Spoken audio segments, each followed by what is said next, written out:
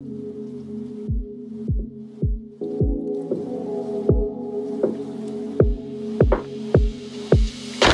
guys, my name is Anthony. I'm a commercial DP slash videographer here in Orlando, and we're doing a BTS of this worship production that we have going on. I wasn't able to find one on YouTube, so I figured I would just make one on my own. But even if this kind of thing isn't your thing, I would stick around to the end because there's gonna be some useful, just behind the scenes, maybe things going wrong, hopefully not, but behind the scenes look onto how these productions really happen, whether it's haze, we're gonna talk to the gaffer, other different people on the production. So super excited, come join us. So right here I have my buddy AJ. He's actually gonna be doing BTS photo as well as taking photo of the event. He'll be hands on set, but he also has a YouTube channel, so check him out. Is there anything you wanna say? Uh, how this looks. Yeah, it's gonna be dope. So follow me here to this guy with the tennis balls. So this is Dan the man. He, yeah, he's an incredible gaffer and he's really gonna be making this production just look a lot better than what I would have done if I was the gaffer. So super stoked to have you on, bro. Let's do it. Let's get to work. So what are we working with here? So this is an H320 Avenger High High. Uh, so basically we're setting it up so that we can boom a light and use this natural ambience that we already have um, to create this soft glow on the middle area. That's kind of what we're going for to start, and then we'll build from there. We did. We actually did this production pretty last minute, but I'm super excited to shine some lights through the windows because with the haze, it's going to create some nice, thick beams of light that'll look hopefully good. So we could probably get like a towel or something just to like dampen the, just a little bit. Yeah, we'll put it. We'll put it underneath it and over it. So this lets us do intervals. Where we could have output every certain amount. Is that the max? What? Is that the max it's pumping? Oh no, bro. No, no, that thing would. This will fill. The only thing is if this is pumping during like a quiet moment, Yeah, that's what I'm thinking. and watch it be like the same exact frequency. or, or a harmony of it. Like, yeah, yeah. it like works out perfect. It's like, yo, what did you? How'd you get that drone noise on your? How, how'd you get that drone noise on your on your Nord, bro? I always feel weird at this point because we really can't do anything with cameras or anything. I'm just telling people what to do. You want me to clean it up? Yeah, clean it like closer to the thing. So, so you're just gonna hand me this. I'll just show you the camera setups that we're working with today. So for one of the cameras, I have my buddy Ray. He's over there if you wanna just. He's gonna be using the C70 with a 24 to 70. I actually don't have a speed booster on it normally, which is what I would use, but my 70 to 200 I found out was broken yesterday morning, so we need the reach.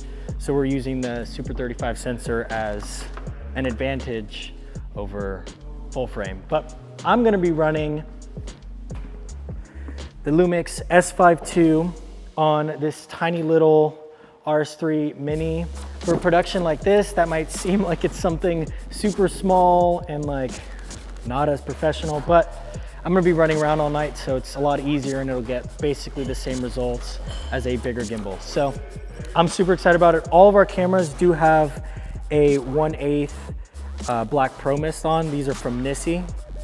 But yeah, so I, I specifically chose like 1 8 over 1 4th because we're already hazing the room. There's already gonna be light distribution and softness in the room regardless. So I didn't wanna make it too soft, especially when we're gonna be shining lights through the windows. I didn't want it to be too bloomy and it would have had a weird effect. So we chose 1 8 for both cameras. So quick shout out to Hollyland for sending out these Solidcom C1 Pros. They ended up sponsoring part of this production. Super grateful to them. If we didn't have these, honestly, we would have been yelling across the room. And for a worship production, that is just not okay. That's that's not for any production. That's not okay. But specifically for this, is going to be quiet moments, so we can't do that.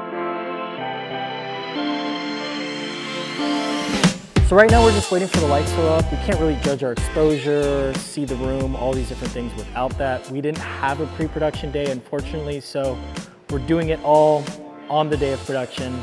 I don't even know why we're doing a YouTube video on top of it, but I felt like this would be useful and necessary for people on the channel. So, for you guys.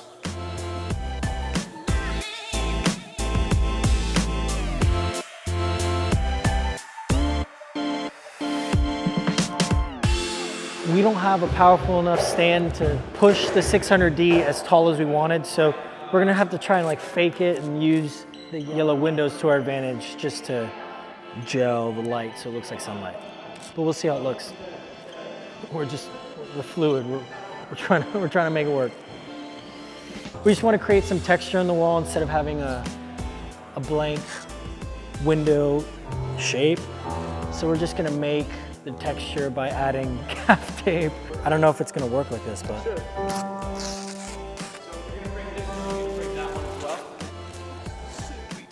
This is sick, bro. What? Uh,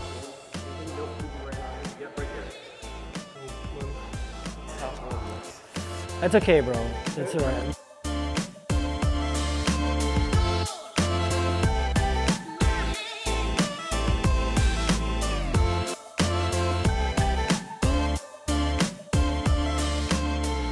All right, so we're back in the office the day after production. My back is sore, my legs are sore. It was just a wild experience. We really didn't film much after what you just saw, and that's because it got crazy. Those last couple clips were actually 15 minutes before the actual event started, so we really crammed a lot into the amount of time that we were given. There were some things I wish we would have done differently, and there were some things I just didn't touch on in the video because I didn't have time or I didn't really think about it while I was on set doing five different roles, but that's what this section's for. So there's a saying, shoot for the moon and you'll land amongst the stars or something like that. And while I think that's a kind of decent way to look at things, for this production, I think for most productions in general, you should have a realistic approach on how you plan out the lighting and all of these things. We had time constraints, we had budget constraints, and we wanted to create a look that was well above our budget and time. While I still think our final product looked really good, I would have completely scrapped beaming the lights from the outside because we didn't have a pre-production day to set it all up and I would have just taken the 600D and blasted it into the ceiling so that we would have had a really good strong key to balance exposure and have everything look more moody and darker in the background. We used two 200Xs with lantern softboxes to key our subjects, which was in the middle on the rug. And that just simply wasn't enough to create the look that we were going for. It was a little bit more high key than what we had envisioned. And the only way we had proper exposure, which is crazy to think, is the last 10 minutes we threw four Pavo tubes on the floor and aimed them at our talent so that it would be properly exposed and look correct.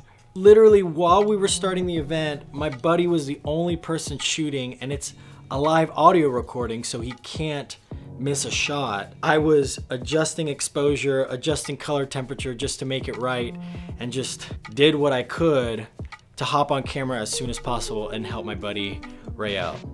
So that's definitely something I would have done differently. I just would have shot it easier and not try to be fancy. Although I think it looked really good, I would have done it easier and perfected what I could have done and what my budget allowed instead of trying to push it even more. But the final results were pretty good in my opinion. I just wanted to share that with you guys if maybe you're doing your first production like this or you're thinking about getting into this space or live audio recordings. Something I wasn't able to touch on in the video is that we were doing a live album recording video. So that means the audio that was recorded that day we needed to have footage for every second that actually aligned with the video. What that means is I couldn't just do what I normally do, which is record for five seconds and get a bunch of 20 second clips that I could mash together for a music video.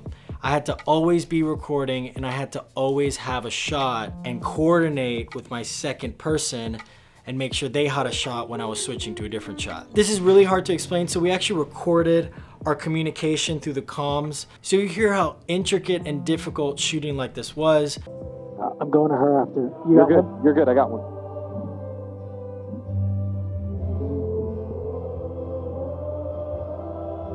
I'm switching.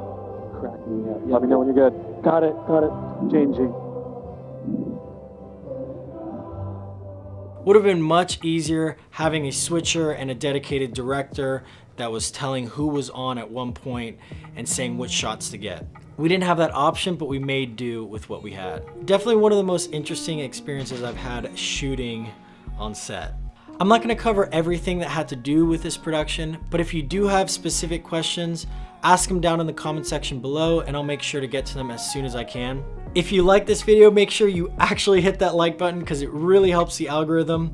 Consider subscribing for future content and sharing this video out with your friends if it's helped you, and I'll see you in the next one.